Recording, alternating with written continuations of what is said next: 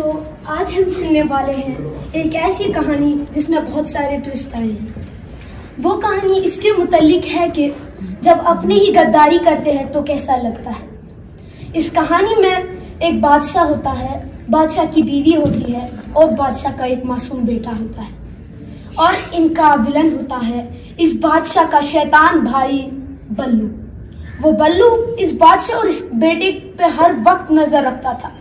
इनकी बातें सुनता था। जब इस बादशाह का बाप मर गया था तो उसने अपने बेटे, बड़े बेटे को राजा बना दिया था। भल्लू को उसी वक्त की जलन हो रही है और अब वो राजा बनना चाहता है। तो हम अपना ये रंगीन सफ़र शुरू करते हैं।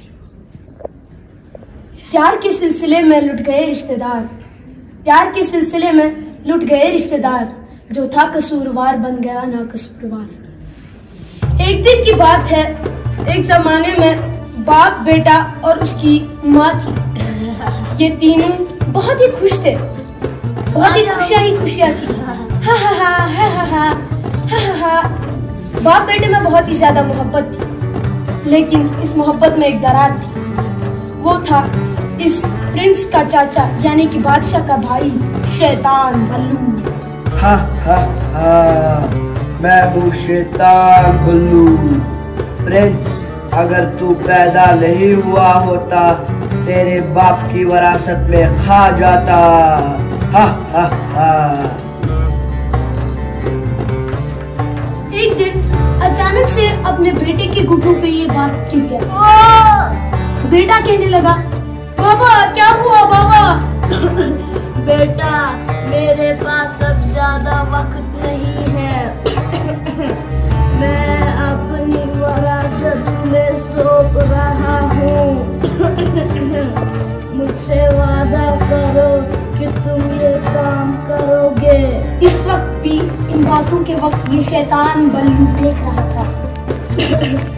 मिस्र के एक पिरामिड में एक शक्तिशाली तावीर है।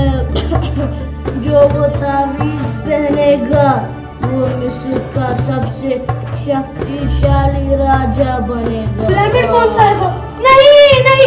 है ना है मेरे पति मर गए मेरी ज़िंदगी खराब हो गई है। अब क्या होगा? मम्मा पापा मर गए। है ना है मेरे पति मर गए अब क्या होगा रे?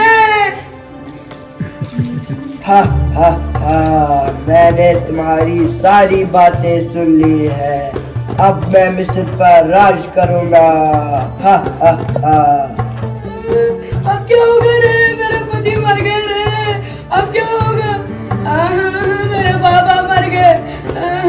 कौन रो रहा है? इस इस मेरे बाबा मर गए। पर किसने रोया? मेरे बाबा मर गए मस्किटियन चाचा। अरे मेरा दोस्त।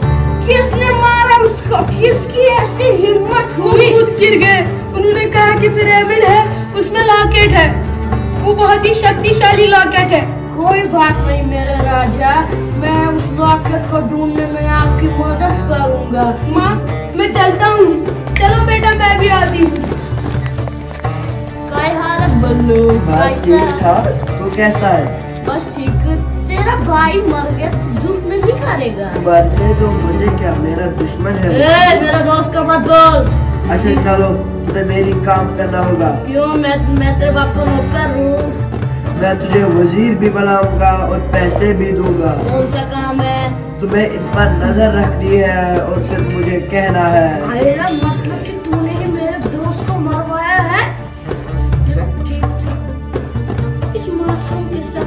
क्या बन जाते हैं ठीक है बल्लू मैं तेरा काम करता हूँ लेकिन याद रख याद रखना अपना वादा मत भूलना वरना मैं तुझे काट डालूँगा ना?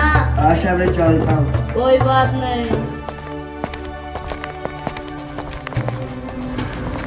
मैं तो बहुत ज़्यादा थक गया। चलो इन तीन ये तीन पिरामिड्स बच गए हैं। इन तीन पे ढूंढते हैं। फिर कुछ और पिरामिड्स बच चुके हैं। उन पे कभी और ढूंढ लेते हैं। इस पे चलते हैं यहाँ पे भी नहीं है। उतरते हैं। दूसरे पिरामिड पे देखते हैं। यहाँ पे भी नहीं है। अरे यार गिर गया अरे मेरी कमर अरे, लग गई। चलो अब लास्ट वाला पिरामिड है। इस पे देखते हैं छोटा वाला है। दूर दूर तक कहीं पे नज़र नहीं आ रहा। वापस चलते हैं।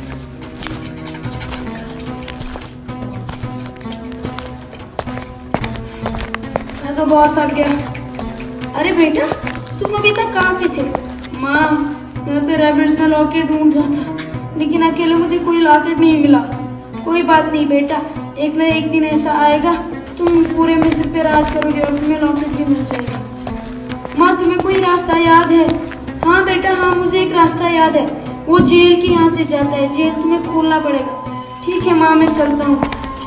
चलो मैं भी वहाँ तक साथ आता हूँ। अच्छा मैं चलती हूँ।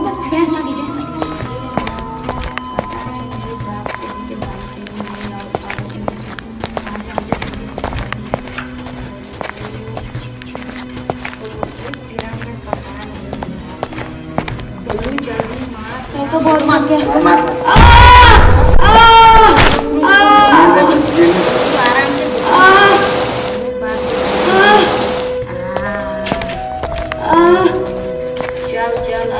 अगर कर देते और अरे तेरे बेटे को इतनी इतनी देर क्यों लगी? चलो नज़र दे के आ जाती हूँ। अरे बेटा तुम्हें इसमें किसने डाला? मस्किटियर चाचा ने हमें धोखा दिया। बोलो और मस्किटियर चाचा ने मुझे बेहोश करके जेल में डाल दिया। नहीं ऐसा नहीं हो सकता है। हलबली जल्दी से इधर आओ। मेरा नाम है हलबली। मैं चाहता हूँ मैं सब जगह हलबली। महारानी जी क्या हुक्म है? हलबली जल्दी से आगे आओ मेरे आगे आओ। जी महारानी जी हुक्म। मेरे बेटे का ख्याल रखना मैं चलती हूँ। जी महारानी जी ये मैं इसका बहुत ज़्यादा ख्याल रखूँगा। महाराजा हम पीठ पे आ जा महाराजा जी कहाँ चल रहे पिरामिड्स की तरफ़ जाओ बोलू को मुझे रोक अरे अरे हलबली मुझे यहीं पर उतार दो जो हुक्म राजकुमार। नहीं फ़ीस हो गया। ओ बल्लू मैं तुझे नहीं छोड़ूँगा। आ, मैं भी फ्रीज हो गया। आ, अरे नहीं मैं इनको कैसे धोखा दे सकता हूँ? हम्म, मैं धोखा नहीं दे सकता। बल्लू तू मेरे साथ राजकुमार जी मुझे माफ़ कीजिए मैं लालच के लालच में आ गया था। मैंने बल्लू बल्लू सिपाहियों से बोल रहा था मेरा काम होती मैं मस्किटियर को मारूँगा। ये बल्लू के मुझे खाक मारेगा?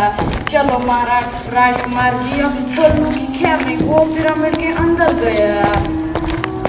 बल्लू आज तेरी खैर नहीं ला महाराज राजकुमार बचाओ बल्लू बल्लू जा बल्लू जा।